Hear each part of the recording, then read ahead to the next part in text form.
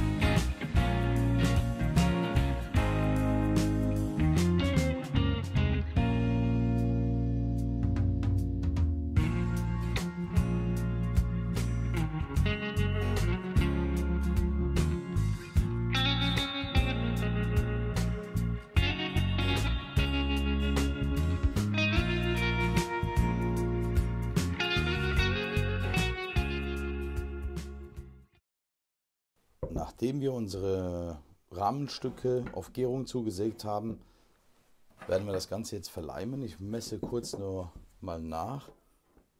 Dann werden wir einen Falz einfräsen. Was haben wir gesagt? 9,5. Ich zeichne das jetzt nur mal provisorisch auf, damit ich weiß, auf welcher Seite das sein wird und ich nachher nicht irgendetwas verwechsle.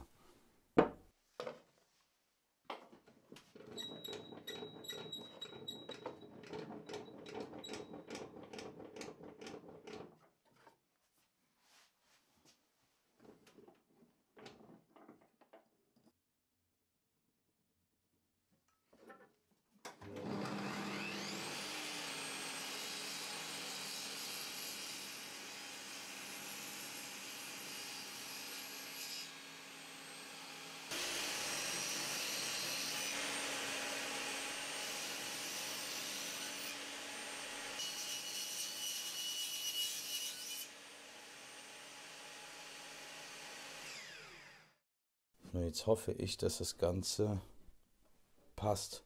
Also vom Gero, von der Gärung her ist jetzt okay, passt es. Aber da soll auch die ähm, Platte nämlich jetzt genau reinpassen. Okay, das passt, wunderbar. Jetzt werde ich nur kurz mal die, mir den Falz anschauen und mal ein bisschen abschleifen, ein wenig die Ecken und Kanten, damit es nachher beim Verleimen keine Probleme gibt, keine Unebenheiten. Und dann kann es auch weitergehen.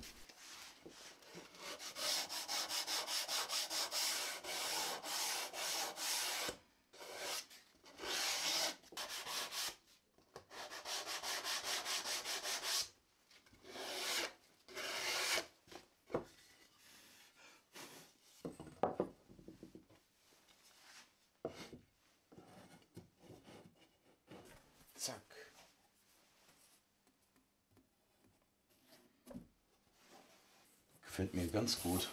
Sieht sehr, sehr gut aus. Die Gärung passt. Die Platte liegt da schön drauf. Perfekt.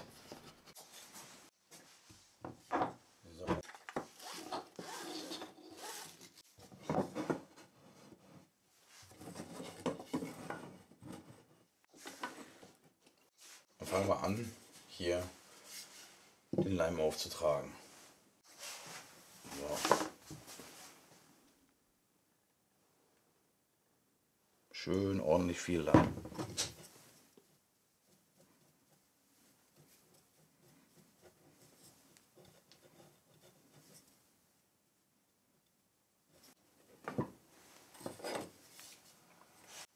Ich habe nämlich viel, viel bequemer finde aus dem Glas mit dem Pinsel aufzutragen.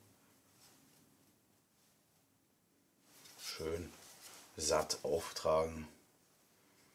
Lieber zu viel Leim als zu wenig. Und dann werden wir das Ganze schon einmal zusammentun. Ziehen wir das fest. Klemmen hier fest. Und jetzt können wir nämlich an der Schraube drehen. Machen wir das so. So, da wir jetzt hier keinen Leim haben, können wir das hier erstmal schon mal reinlegen, damit wir sicher sind, dass das alles im Winkel ist. Gut, das werde ich jetzt erstmal so trocknen lassen. In der Zeit gehe ich mir einen Kaffee holen und dann sehen wir uns gleich wieder. Dadurch, dass wir jetzt hier äh, einen Falz eingesägt haben und diese Platte eingelassen haben, wirkt das Ganze natürlich jetzt etwas schmäler. Das Material ist ja normalerweise 19 mm stark und jetzt ist natürlich nur noch die Hälfte davon zu sehen. Das macht das Ganze, den ganzen Rahmen natürlich etwas äh, feiner und nicht so grob. Wobei anders wäre es auch nicht schlimm gewesen. Gut, ähm, ich werde jetzt die Zwingen, die, die den Spanner lösen. Mit dem Druckluftnagler haue ich dann noch ein paar Nägel rein und dann ist das Ding eigentlich komplett stabil.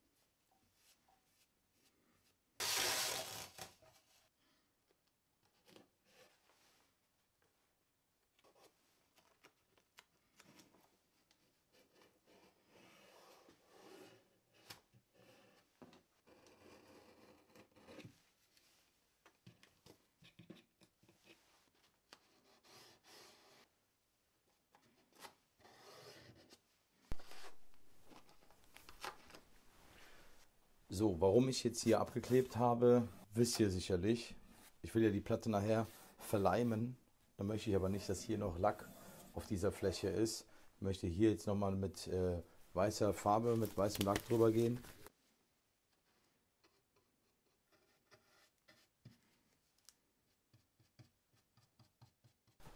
So, liebe Freunde, der erste Anstrich, der ist fertig. Ich lasse das jetzt über Nacht trocknen. Ja, und dann werde ich mal morgen gucken, wie das aussieht, wenn es trocken ist, ob ich da ein bisschen nacharbeiten muss. Ich denke schon, dass ich da noch ähm, drüber schleifen werde mit feinem Schleifpapier und eventuell nochmal streichen. Also, für euch heißt es bis gleich, für mich heißt es bis morgen. Ciao.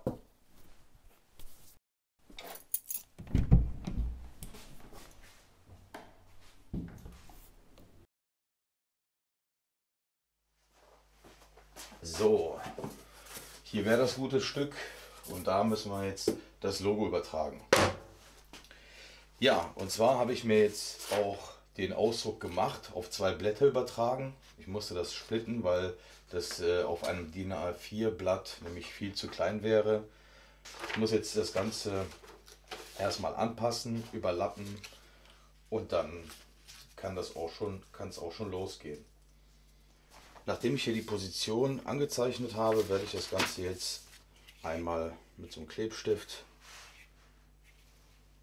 kleben.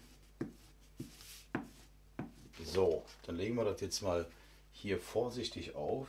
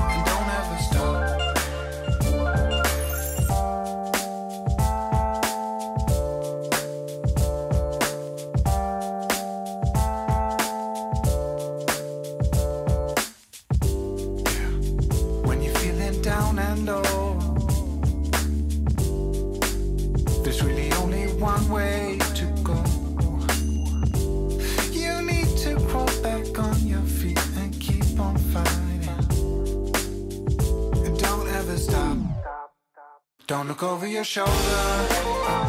Don't ever look back.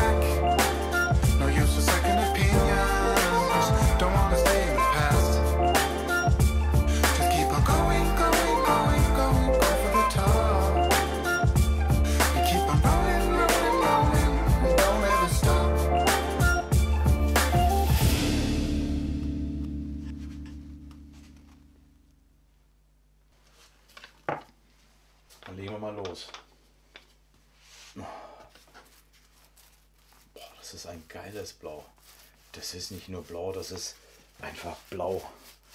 Noch blauer geht's nicht. Wie heißt das so schön? Nass in nass.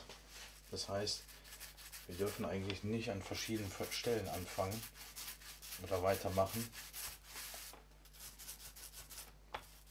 Sieht aus wie so Werkzeugschrankblau. Kennt ihr das? Bei uns in der Firma gibt es so Werk Werkzeugschränke, Materialschränke. Die sind in diesem Blau. Ah, sieht komischerweise schön aus.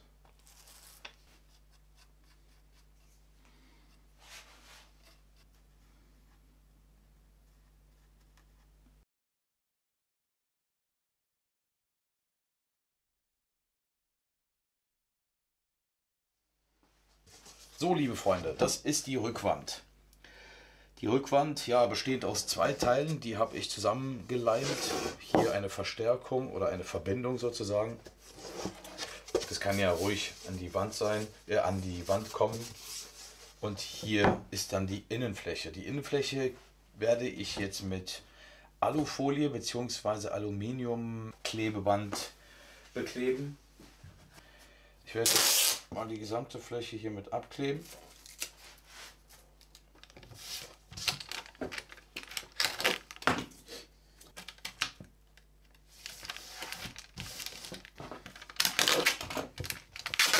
So, wir drehen das jetzt mal um. Da schneiden wir die Kante entlang.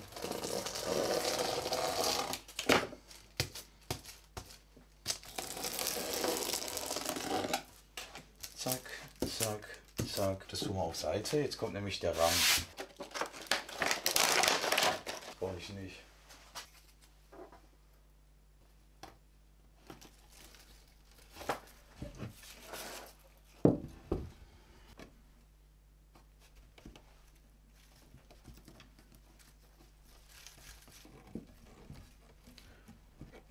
So.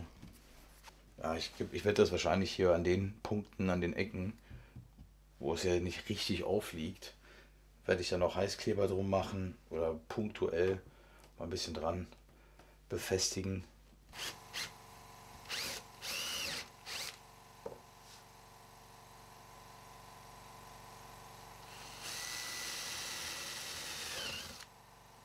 So, Schrauben.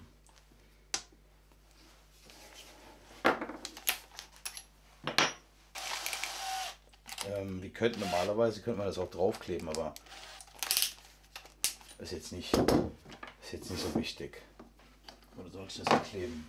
Sicher, da ist doch ein Klebestreifen, Ali. Mann, Mann, Mann, Mann, Mann. Ich bin so ein. Boah, manchmal bin ich so verpeilt. Machen wir einfach mal hier drin.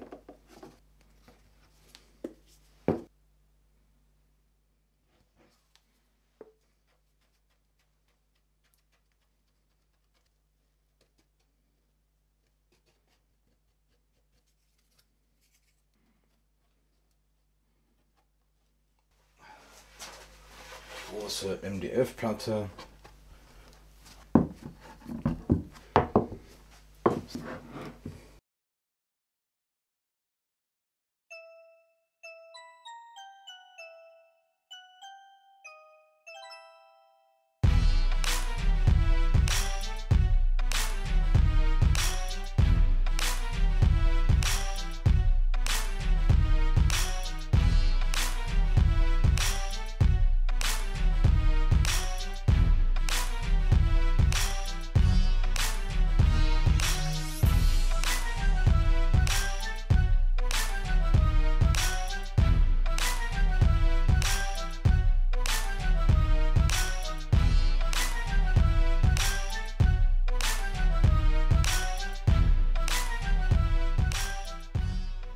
Glaubt's mir, ich bin gerade so gespannt. Jetzt machen wir mal die Zwingen ab.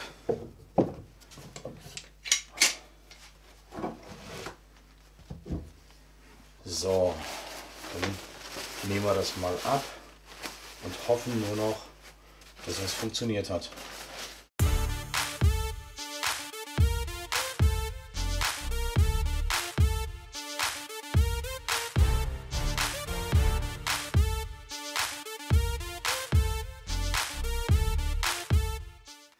Liebe Freunde, ich bin endlich fertig mit meinem Projekt. Ich bin wirklich sehr, sehr froh. Die erste Version, die hat mir überhaupt nicht gefallen, weil ich jetzt auch wirklich mit simplen, einfachen Dingen bauen wollte. Hat aber nicht geklappt. Das gesamte Teil hat mich jetzt 30 Euro gekostet. Äh, Die Plexiglasscheibe, die hatte ich da gehabt. Da müsst ihr wahrscheinlich nochmal einen Fünfer oder einen Zehner draufrechnen.